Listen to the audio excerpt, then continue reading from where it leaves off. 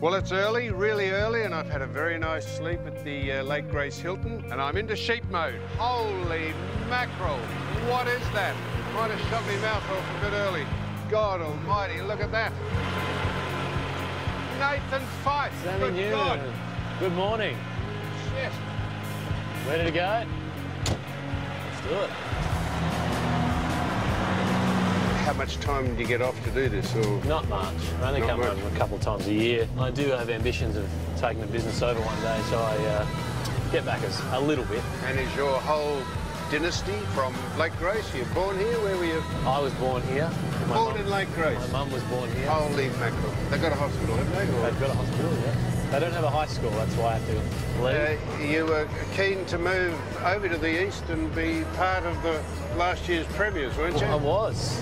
I love the Tigers. Richo, love Richo. Yes. Still do. Actually, when I went to draft camp, I tried to get an interview with the Richmond recruiters. Didn't want to speak to me, and I tried desperately, and I w- I wouldn't mention who those people were. They would probably be run out of town. well, they got Dustin Martin, so they, they Oh. went right, I think. Yeah, no, they didn't. I actually hated the Dockers. Did you?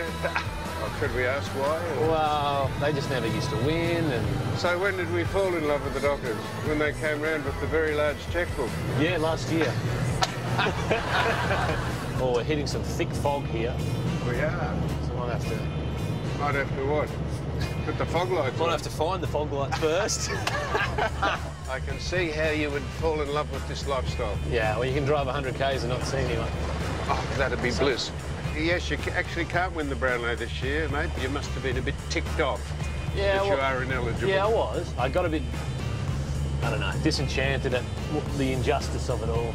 Just for a couple of days, and then I got over it and I was fine. But, um, but anyway, that's the business. I've been there before. I've lost one before, and probably lose them again. But there's bigger fish to fry, mate. We're going to turn up here, so we've got to slow this thing up somehow. Sitting here is surreal for me, sitting in a Kenworth, being driven by the marquee player of the competition in the middle of nowhere. This is almost Shangri-La for me. It's fantastic. Right, me mate's in here, Tom, isn't he? Yeah, Yeah. he- he's the old work dog. He's a little bit slower than he used to be, but he still goes okay. He could be my twin brother. oh, oh. Hang on, Tom. Man grappling with technology. I'm trying to get the bolt opening. Come on, mate. Come on. That's it. I got you. Look at that. Look. Ah, there he is. Ready to go to work? Come on. Uh, your dad said if you can smell sheep shit, you can smell money. I can smell money.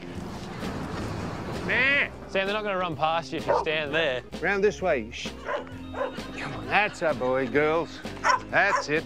Well done. Yeah, you fat lot of good you've been, Tom. All you're doing is barking from behind the fence. I uh, started to count them, but found myself going to sleep. You like that? Roast! Roast! I can certainly smell money. Come on, time is money. Well, I can't do any more, mate. I've loaded the sheep on single-handedly. I'll send you the invoice later. No, you did a great job. I was actually quite impressed. Now we Thank have to go and deliver the sheep, but Right, tense up. I'm going to drive the truck, am I? it's time for the driving lesson. Holy. Let's go. Get in. Hope it's got one of those horns. Ha, ha.